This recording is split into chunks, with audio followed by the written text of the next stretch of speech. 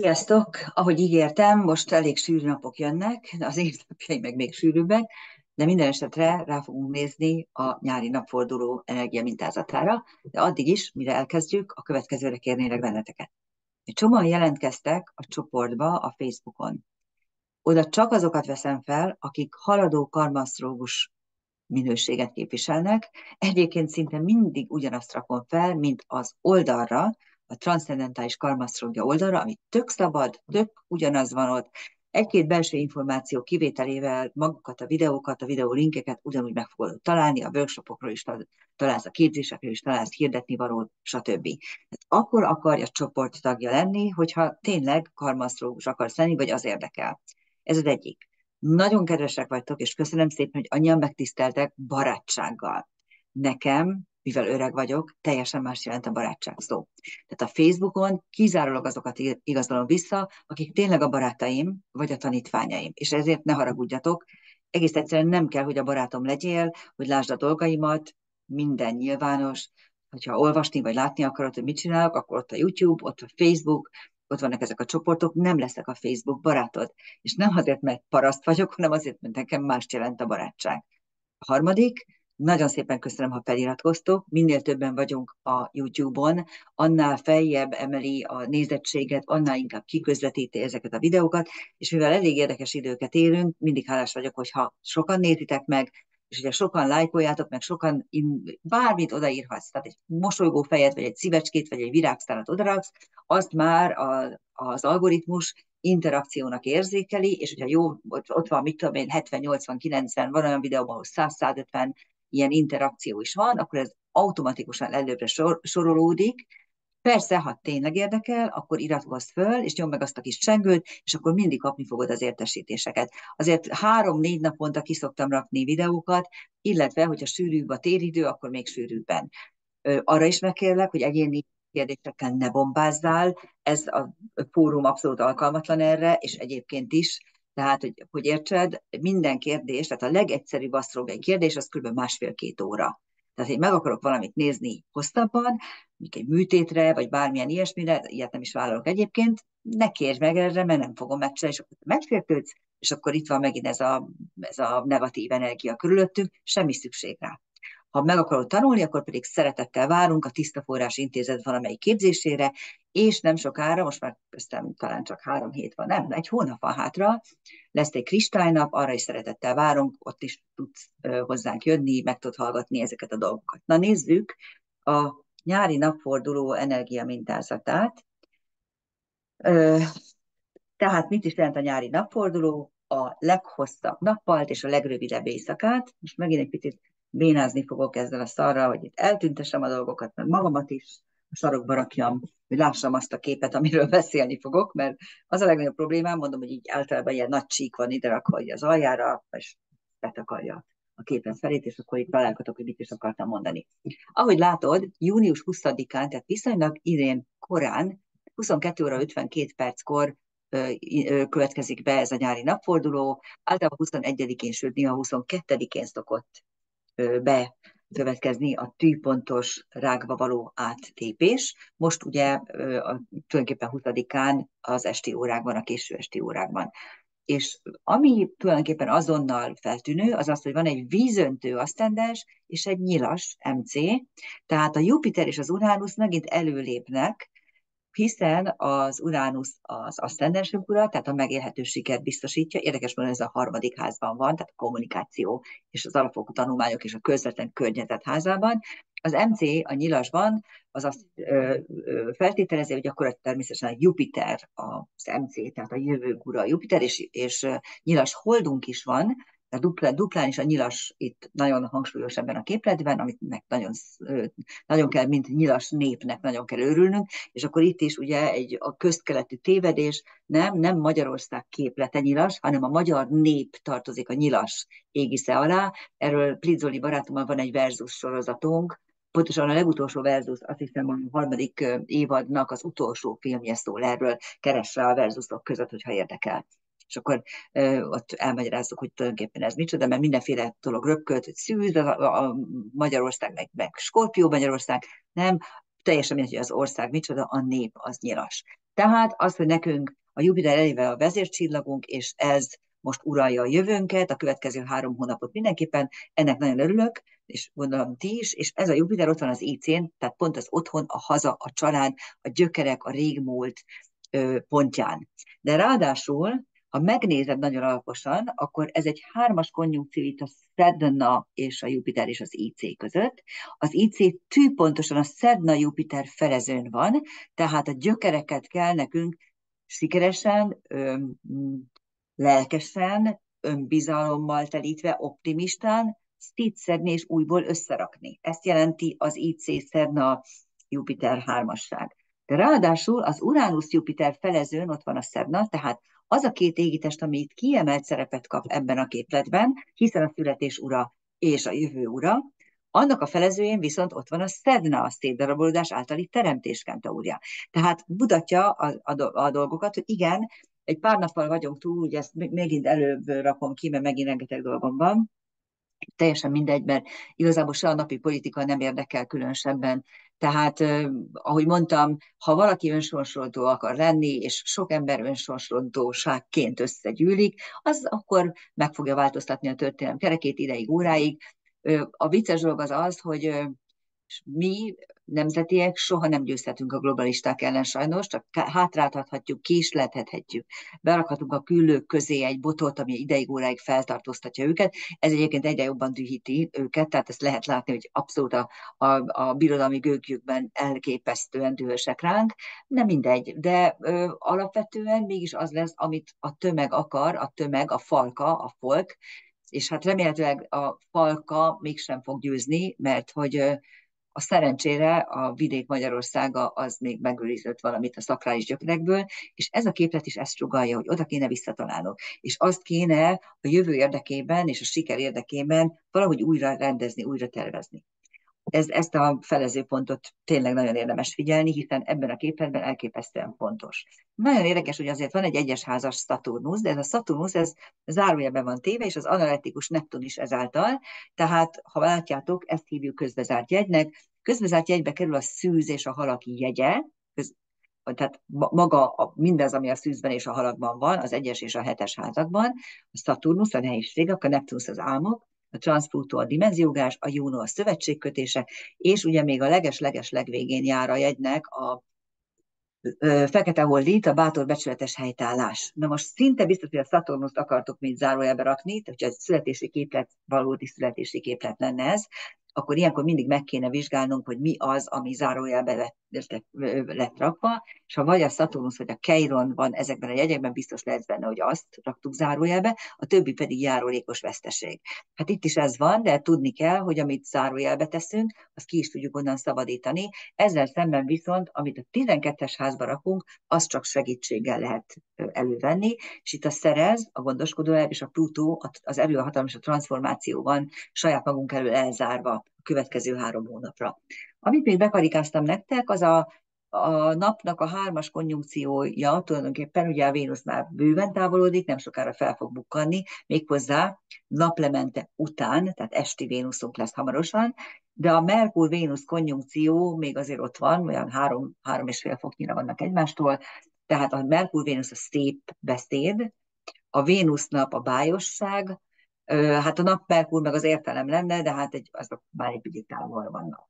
És akkor, ami ugye az analitikus videóban a Keiron mellett találtuk még a sötét oldalt, az átok magunkra vételt, ez bizony most az Eriszen van, a drasztikusan megváltozó külső körülményeken, és lehet látni, hogy a Keiron egyre közelebb kerül ugye az Erishez, tehát hamarosan lesz egy konjunkció, ez ennek az évnek az egyik legfontosabb karmasztrógiai jele, ugye a drasztikusan megváltozó külső körülmények és a, háb, és a sebek, tehát a, tulajdonképpen a háború, kataklizmák, természeti csapások és a sebek kentaúrja kerül szorosan egymás mellé. Ez egyébként 50-60 évenként egyszer történik csak meg, tehát ez egy újra színódus lesz. És ugye, ha vissza, ha már mondtam ezt a szót, hogy színódus, egyébként MSZ-nek a kedvenc témái, kedvenc nőkei tartoznak a színódusok. Színódus zsinatot jelent, és azt jelenti, amikor két lassú bolygó egymás mellé kerül, együtt állnak, akkor kezdődik egy új ciklusok. És tulajdonképpen ennek az évnek a nem karmasztrológiai, hanem hagyományos asztrológiai fényszöge közül a legfontosabb, pont a Jupiter-Uránusz konjunkció volt, az Jupiter-Uránusz színódus, és milyen érdekes, mondtam nektek, akkor ez egy hosszabb videó volt, ha érdekel benneteket, legalább egy óra volt, mert megnéztük, hogy, hogy a világ nagyvárosaiban ez a konjunkció hova esik, és milyen fényszögei vannak, és teljesen mások voltak a hangsúlyok, akárhova raktam őket. Viszont azt is megígértem, hogy ahányszor aktiválódik ez a konjunkció, annyiszor mindig rá is fogunk nézni a képletre. Na most hát én úgy gondoltam, hogy majd fényszögben aktiválódik, de hát felezőpontban is tud aktiválódni, rögtön most, ahogy láttuk, mert a szerd pont kettő közé került. Tehát ez pont egy ilyen képlet, ami ugye, ahogy szoktam mondani, ezek az úgynevezett kvartál képletek, ezek három hónapra mindenféleképpen érvényesek. És akkor visszatérve még ugye arra az állásra, ami talán nagyon-nagyon lényeges, az az, hogy egyrészt a hold a nyilasban áll, tehát nagyon jó helyen van, hiszen ez azt mutatja meg, hogy egy lelkes, lobogó, jövőorientált lelkülete van az embereknek, hála Istennek, ezért vagy azért nem fogok ebben állást foglalni, hogy miért. Minden esetre a tízes házban a hold azt jelenti, hogy most valamennyire a néplélek, a nép fog előlépni, tehát a következő három hónap a népé, hogy úgy mondjam, nem a hatalom a népé, hanem az idő, ez a jövő, amit építünk.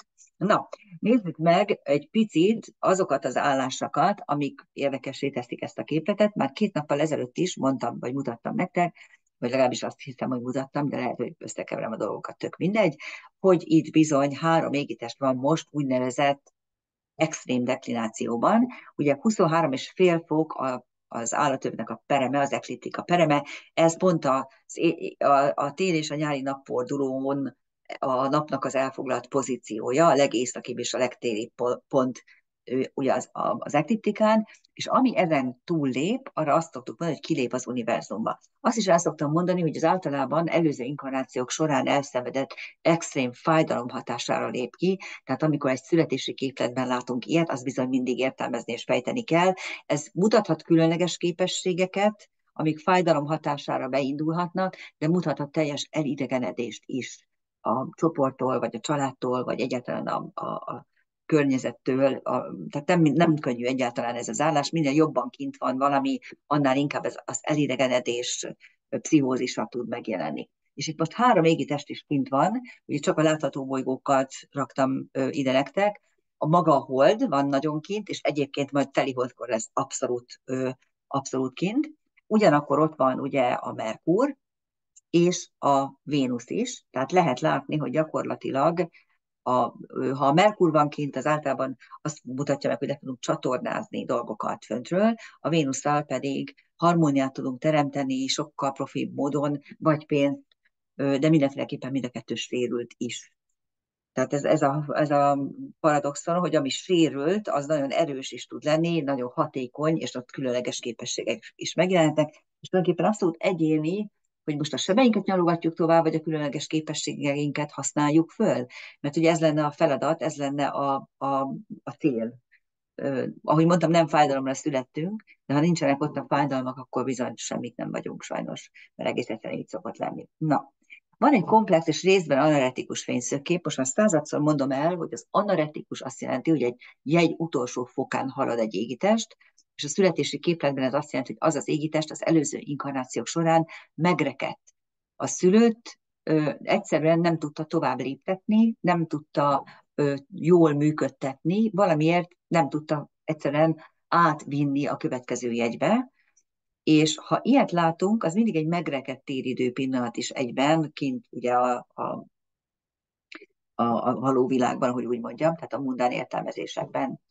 És a, éppen ezért, hogyha ilyet látsz, hogy valami a nulla fokon van, vagy 29 fokon, akkor ami létrejön fényszög, az lehet nagyon-nagyon pontos, és éppen ezért nagyon erős, de diszociális, tehát jegyen kívüli, nem a fényszögnek megfelelő jegypárok kapcsolódnak össze, hanem valami más. Itt rögtön láthatunk egy diszociális koronát, amit a Neptunus, a Plutó, a Vesta, a Fekete Hold és a Sedna hoz létre, tehát a Neptunus az álmok, a Plutó a hatalom, a Vesta a fókuszáló képesség, a Fekete Hold a bátor becsületes helytállás, a Sedna pedig a szétdarabolódás általi teremtés szimbóluma, és hogyha megnézitek, ennek a koronának az abroncsa, az rögtön a, a, úgy indul, hogy a Neptunus még a halakban, a Vesta pedig már az oroszlánban, tehát ez egy 150 fokot összekötő ö, trigon, és ugyanígy a fekete holdi az a szűz legvégén van, a Plutó pedig már a vízöntő legelején, majd vissza fog hátrálni a bakba, de most még a vízöntőben van. Tehát itt is egy 150 fokot összekötő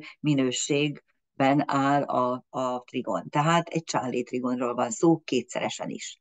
Ugyanakkor a ö, koronának a hegye az a Terna a szétdarabolódás állali teremtés, tehát a korona ékszerünk, az pont az, hogy figyelj már oda a dolgaidra, nézd meg, hogy mi nem működik, és rakd össze. Erre van három hónapod. És igen, a korona sokkal szebb lenne, hogyha tiszta energiákban lenne, amire van esély abból a szempontból, hogy a fekete old Lilith nem tud hátrálni, csak előre tud menni, ő hamarosan ott lesz a mérlegben. A Neptunus viszont pont megakad a halak leges legvégén, barmira lelassul és elkezd majd hátrálni vissza, és egészen 28 fokig visszahátrál a saját jegyében, hogy aztán újra megforduljon, és majd egy pici kirándulást tegyen a kosban, de aztán újra visszahátrá, és majd végérvényesen csak 2026-ban fog belépni, és akkor vége lesz ennek, a, ennek az idióta vók őrületnek. Szoktam hallgatni, gyakorlatilag mindent meghallgatok, amit Bogár László vagy Boros Imre közgazdászok kiraknak. Két olyan műsor is van, tulajdonképpen három, az egyik a háttérkép, a másik a globál, a harmadik pedig ugye Bogár Lászlónak a naplója, egy Bogár naplója, nagyon érdekes egyébként, mert most kezdték el feldolgozni a rendszerváltásnak a pénzügyi dolgait a globálban, míg a háttérkép az inkább sokkal inkább ugye a, háttér energiákat meséli el, és a Bogár naplója pedig inkább egy ilyen személyes kesergése Bogár Laci bácsinak, és ez, ezek egészen elképesztő dolgok tudnak úgy lecsapódni ott, és annyira érdekes a szinkronicitás, mert kb. tehát én messze nem emelném magam az ő, ő színvonalukra, hiszen ő plastissal többet értenek mindenhez, kivéve a karmasztrógához talán, de én a saját megfontolásaimban és gondolkodásaimban is nagyon gyakran ugyanoda jutom, mint ahogy ő.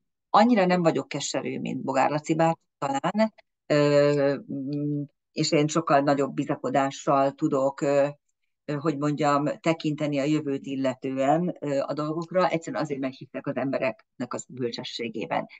Ez most a mostani ö, szavazáskor nem derült ki, de azért a remény, ha meg utoljára. Tehát én azért remélem, én tényleg reménykedem, hogy, hogy az emberek azért általában bölcsek. És a, a, pesti, bel, a belpesti értelmiség által annyira lenézett ö, vidéki emberek között van a legtöbb bölcsember, ezt higgyétek el nekem. Ezt mindig minden fórumon szoktam hangoztatni. Nagyon érdekes az időjárás is egyébként, mert kb. három vagy négy hete folyamatosan azt, folyamatosan azt szajkozák, hogy jön a forróság, jön a meleg. Na most kb. a 22-23 fokra megy fel, úgy délután 6 óra magasságában az idő, és általában a déletemet az, azzal töltöm, hogy vagy dolgozom, és nem is veszem észre, hogy reggel felveszek egy ilyen pántos ruhát, és várom a 30 fokot, hát soha nem jön, de mindegy, és akkor kb. olyan, mit tudom, délután kettőkor rájövök, hogy megfagyok, és gyorsan felveszek egy kardigát, most is beborult, de persze esti most éppen nem esik, milyen kár pedig, milyen jó lenne. Na mindegy. Szóval ez pont olyan kb. olyan, amit a meteorológusok most tesznek velünk, ez pontosan ugyanaz, mint, mint az egész, ez a szimbólumai tényleg annak, ami történik a világban, hogy különböző mézes madzagokat húznak el előttünk, és hát ezek nem nagyon teljesülnek. Ez a korona egy picit ilyen, hogy olyasmiket ígér, ami aztán nem teljesül, mert az analitikus fényszögek azok nem teljesülnek. Na most legalább nem kvadrátok. Tehát az, az, az a jó hírem, vagy az a, az a pozitívum ennek a dolognak, hogy hogy legalább ugye a legfontosabb része ennek az egésznek a Plutó Szedna trigon, ami egyébként baromi ritka, az legalább tiszta. Tehát az ott egy levegős trigon jön létre, tehát az a rész az legalább megvan, az, az legalább jól működik, a másik két trigon az viszont sajnos nem, mert ott ö, ö, a Szedna ö, fekete hollét az sajnos egy kvadrát, a másik kettő pedig, ahogy néztük, ugye az viszont inkább quincunx és akkor van egy diszociális tékvadrátunk is, aminek tulajdonképpen azért örülünk, mert ha már tékvadrát, akkor legyen diszociális. Nap, Neptunusz és fekete hold, ennek az apexén, a csúcsszögén maga a nap áll, a rákban át került átért nap. A Neptunusz nap kvadrát az igazából egy trigon energiát köt össze, hiszen mind a kettő vízjegyekben van. A nap fekete hold kvadrát, az pedig szextil energiákat köt össze, hiszen szűz rák, tehát tulajdonképpen ez egy olyan T-kvadrát, ami viszont trigon és, és szextil, tehát harmónia és lehetőség működéssel teremti meg a feszültséget, ami nekünk nagyon jó. És van egy pici angyalszárnyunk is, ami egyébként hál' Istennek nem analitikus, hiszen bocsánat, nem, és nem, nem analitikus, tehát nem is diszociális, hiszen a szedne az ikrekben, a nap a rákban, a Vesta pedig az oroszlánban van, tehát fókuszálj rá arra, amit szét kell szedni, amúgy is ennek a koronának ez a csúcsa, van három hónapod rá, és a maga a nap tudja ezt az angyalt fölvinni a szárnyakon magaslatba, hogy tényleg működni tudjon. Na nézzük meg a transzcendenségi testeket nagyon röviden. Nincs belőle sok, de érdekes módon megint álló csillagok dominálnak, azok, akik először vannak itt. Három típusú transzcendens égitest van, az egyik az aszteroida lakói, a személyes karmikus szintet mutatják meg, tehát az aszteroidákat lilával jelölöm, a Neptunuson túli objektumokat, a, a Kuiper öv lakóit e, összefoglaló néven kentauroknak nevezzük, ezek a karmikus sebeinkről adnak felvilágosítást. A pirosan jelzett objektumok pedig állócsillagok, nem a naprendszer, hanem az univerzum részei, ezek pedig magasabb dimenziójú világok, ahol különböző ö, olyan képességek szerezhetők meg, amivel a harmadik dimenziót majd könnyebben tudjuk működtetni. Tehát így van színkódolva, és akkor nézzük meg, hogy mi van. A nap most jó hosszú ideig, a következő 30 évig egészen biztosan, lehet, hogy tovább is, ezen a két állócsillagon van minden nyári napfordulón, a Betelgúzon és a Menkalianon. A Menkalian a fogadhajtónak a bétája, ugye az egész fogadhajtó ö, a, tulajdonképpen vulkánt vagy Hephaistos szimbolizálja, a, a sérült, sebzett Istent, akit ez saját édesanyja dob, vagy hajt ki ugye a születése után az Olimposzról, de ő megmutatja, hogy ő értékes, hiszen csodálatos tárgyakat hoz létre a Kovács műhelyében, ami az Olympus tövében van. És a Menkalian az tulajdonképpen nagyon érdekes, mert általában úgy szokták ábrázolni, hogy vulkán lába, ami ugye el van törve, és ezért sánta, és ezért fabrikál egy, egy, egy kocsit magának, ami egy, amit ugye hajt, ettől fogadhajtó, tehát, hogy legyőzi a handicapjét. És maga az egész csillagkép arról szól, hogy hogyan tudjuk legyőzni a handicapet, hogyan tudunk úgy diadalt aratni, hogy pedig handicapünk van. Tehát ez egy nagyon fontos állócsillag. A Betelgeuse pedig az Orionnak a keleti válla, és az egyik legjótékonyabb csillag, ami sikert és szerencsét biztosít a számukra, amit semmi az ég a világon nem tud hátráltatni. Tehát ez, ez most egy jó ideig, következő 30-40 évig itt lesz a nap mindig ezeken az állócsillagokon. Egyébként pedig az Apophis van ott, a ugye az egyiptomi hitvilágban a napot elnyelő kígyó, tehát tényleg ott fenyeget bennünket a mindent elnyelő sötétség, amit így bekészítettek nekünk, és ott van justícia, az igazság, ugye a négy kardinális erény közül az egyik, ami viszont tök jó. A Pluton változatlanul csak az Altair van, a, a, sas, a csillagkép alfája, ez az egyik táltos csillagunk, ugye, ha megnézed, hogy hol van a sas, gyakorlatilag repül fel ugye a tejúton, az egyik egy tejúti csillagkép, és az egész csillagkép is, de főleg az Altair a sámán, a táltos arhetipusához, a gyógyító minőséghez kapcsolódik. A Plutó pedig ugye abóvó is a transformáció égiteste. A Szendán változatlan ott van a plejádok, ott lesz a következő két évben, csak szólók, az Istenő lakhelye, és ott van Feton, megint egy, egy teljes pusztulás, ugye Feton az egyik ilyen, ö, ö, hogy mondjam, az összeomlás jelölő, vagy nézetek utána, ha érdekel, már sokszor elmondta, amit azt most nincs rá idő. Pélion viszont az élethegye, ugyanis Pélion volt az a hegy, ahol a kentorok barlangjai voltak, tehát a kentorok lakhelye. Na most ez többféle konnotációban is érdekes a számunkra. Én azt szoktam mondani, hogy az élet hegye, amit meg kell mászni. Igen ám, de a kentaurok, azok hibrid lények, ugye félig állatok, félig emberek, tehát eleve a származásuk is fájdalmas, ráadásul ugye maguk a kentaurok a karmasztrógiában a karmikus sebeinket írják le. És éppen ezért a Pélionnak van egy olyan jelentése is, hogy ahhoz, hogy mi az élethegyét megmásszuk, hogy, hogy a helyünkre kerüljünk, át kell mennünk jó pár nehézségen, fájdalman, gyászon, ne, olyan dolgokon, amik a lelket gyötrik ugyan, de mégis valahol ettől leszünk erősebbek. Ez azért érdekes, mert most a legutolsó workshop, amit tartottam, az pont Alice Bailey-nek az ezoterikus asztrógiában található urak, tehát jegyurakról szólt, amit én nagyon-nagyon hosszú ideig nem értettem, mindig a sarokba vágtam ezt a könyvet, de azért mindig izgatott, és tulajdonképpen több családi tragédia vezetett oda, hogy megértettem, hogy tulajdonképpen mit akart mondani a szerző, úgyhogy nagyon érdekes volt a maga a workshop, mert utána többen odajöttek hozzám, és azt mondták, hogy most, most esett le nekik egy csomó tantusz.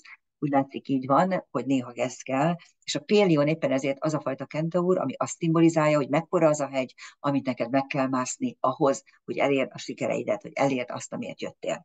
A fekete holdon pedig ott van a szupergalaktikus központ, most már beértett, mert ugye két fokot fogadunk el Orbisként, ezeknél a, a galaktikus pontoknál, nagyobb az Orbis, mint az állott csillagoknál, ahol csak egy fok. A szupergalaktikus központ az egyik égi kulcsterület a karmasztrológiában, a soha semmi nem elegendő dilemmáját hordozza, és most éppen itt van az Istennőt szimbolizáló fekete hold, aki egyrészt a tisztánlátást, másrészt a bátor becsületes helytállást szimbolizálja a három Lilith közül. Ugye ez a harmadik mozzanata a Lilith mítosznak.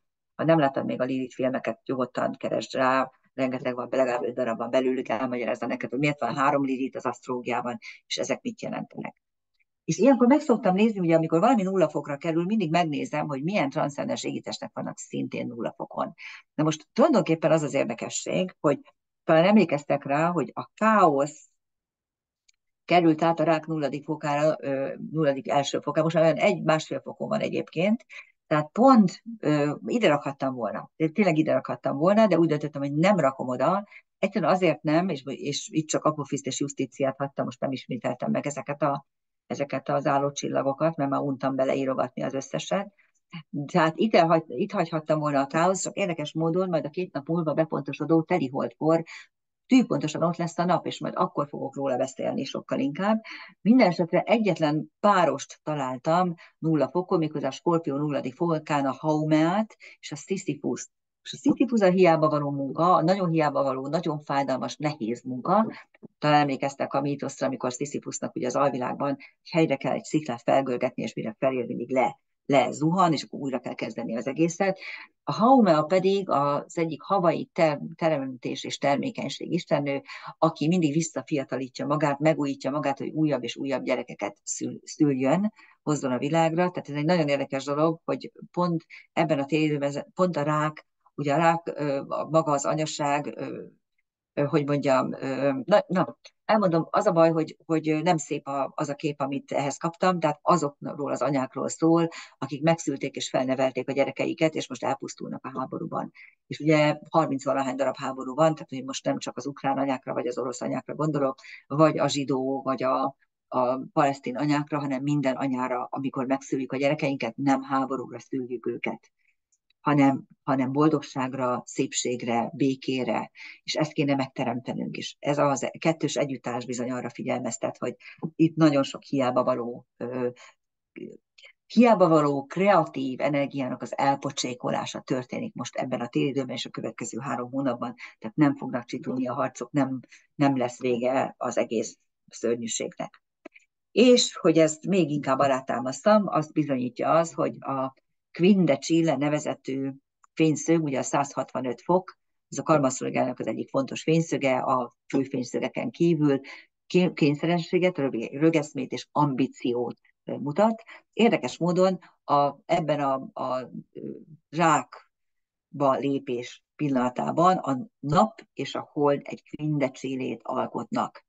Tehát 165 fok van kettőjük között, és ugyanebbe kapcsolódik be a szedna is, ugye, ami ott van a nulla fokon az ikrekben, nulla fok akármennyit, tudom, hogy fél fokon belül van, tehát ez egy nagyon-nagyon tűpontos vindecsire, amit ugye a szedna nap 30 fok köt össze, és tulajdonképpen ez a, a dupla rögeszme, dupla ambíció, ami a nap erejétől és a szedna átalakító képességétől hova sugárzódik ki, hol van az apex, a csúcsot bolygó a holdra, tehát egyrészt a lelkünkre, másrészt az anyaságunkra, harmadrészt magára a népre, következő három hónapban, tehát mi tudnánk kikényszeríteni valamit, csak az a baj, hogy olyan szinten teszik nehézé az életünket, tehát amikor egy embernek azért kell kínálni, hogy a betevő falatja meglegyen, hogy ö, lakjon valahol, hogy ennivalót tudjon adni a saját magának, meg a szeretteinek, hogy élni tudjon, akkor már nincs kedve harcolni. Tehát ezt ezért teszik velünk, ezért szegényítenek el bennünket, mert az, ami most következik, az, az, az azt ö, hát igényelni tőlünk, hogy harcoljunk. De nem lesz erőnk hozzá, vagyis az átlagembernek nem lesz se kedves ereje, mert örül, hogy van a postián, már bocsánat, majd nem csúnyát mondtam, egész egyszerűen nem lesz hozzá ereje. De ez a képlet azt sugalja, hogy dehogy nem, mégiscsak. És tényleg ez van, tehát annak idején Marx azt hitte, hogy majd az angol munkásság fog fellázadni a kizsákmányolás ellen, az a legfejlettebb. És hát nem, kiderült, hogy a, leginkább testvet, és a leginkább, neki volt a legtöbb veszteni valója, Hát az, az a tétel is igaz, hogy amikor már nincs veszteni valója az embereknek, akkor szoktak kiállni az igazukért, akkor nem tehetnek mást. Itt mind a kettő igaz lesz, mind a két gondolat, mert egyrészt a nyugati ember az elmúlt 70 év jólétében teljesen belepunnyat, most ezt veszik el tőle, de lassan veszik el, és szép lassan szoktatják hozzá az egyre szegényebb és szegényesebb életmódhoz, tehát egész egyszerűen nem fogja fölismerni, hogy neki itt most lázadnia kéne, és mire oda kerül, nem lesz ereje. Ez a Quinde viszont azt sugalja, hogy tudunk változtatni, szét tudjuk szeretni az életünk nem működő részét, és valamilyen új dolgot tudunk teremteni ezen, ebben a három hónapban. És látjátok, van egy csomó más Quinde is, mindegyik kényszerességet, rögeszmét és ambíciót szimbolizál, de ez a nyíl az, ami a legütősebb. Ugye az egyik a Jupiter Pallas Athéné, Jupiter ugye a bölcsesség, a, a ö, nem Jupiter. Miért írtam ide Jupiter? Tehát a Pallas Athénéhoz, várjátok le, de, de Jupiter, bocsánat. Nagyon-nagyon kapottam ezzel is, mindegy, tehát akkor most bízzak saját magamban, amíg ott odaírtam, ne, mert ilyenkor az az igazság, hogy nektek írom azt a sok szart oda ki, én meg a képletet nézem. Tehát én nem azt olvasom el, amit odaírok, ezért szoktam hülyeségeket beszélni, de most így megtorpantam, mert igen, Jupiter Pallas Athéné természetesen, csak ugye sok minden van itt, és azt kellett megnézem, hogy hova megy ez a, de aztán ugye elég volt, elolvastam is a dolgot. Tehát Jupiter, a bőség, expanzió, optimizmus és a jövőbe vetett hit, itt ugye az otthonban, családban és hazába vetett hit, és a paraszlaténi pedig a bölcsesség, nem verseg Jupiternek ugye a, a lánya, amit saját maga szül meg, úgyhogy a fejéből pattan ki. Saturnus Trans Pluto, ami azért izgalmas, mert Saturnus a fizikai síkolt, a fizikai akadályokat, de a korlátokat, de az alapokat is szimbolizálja, magát a földi életet, a terheivel, korlátjaival, biztonságával, a Trans Pluto pedig a dimenzióugrásnak, tehát mutatja azt a, ez a fényszög, hogy át akarunk szakítani, át akarjuk szakítani ezeket a korlátokat, ezeket a nehézségeket át akarjuk ugorni valamilyen transzcendens működéssel. Ugyanez a Juno-Neptunus is, hiszen a Juno a szövetségkötések égitestje, a Neptunus pedig az álmok és transzcendencia és feltétel nélkül szeretett bolygója. Tehát, hogyha szövetségeket kötünk, akkor tudjuk megtenni ezt a dimenzióugrást a, a, a, a, méghozzá valamilyen transzcendens élmény hatására, akkor tud ez a kettő együtt működni. Az Astrea Plutónál pedig, ugye a Plutó az erőhatalom és transformáció, az Astrea pedig a karmatörés sorsváltoztatás, tehát két változtató égitest kerül kényszeresség, rögeszme, ambíció kapcsolatban. És akkor még a leszálló holcsomó, ami a múltunk, és a sötét hold Lilith Eris konjunkció is egy findecsillét alkot, ami annyit jelent, az Eris ugye a drasztikusan megváltozó külső körülmények, a leszálló volcsomó pedig a hozott képességeink. Hát az Eris, ugye, vagy a sötét volt pedig az Erisen azt mutatja meg, hogy ö, ö, akkor is meg kell tennünk, még hogyha ezért megátkoznak is bennünket.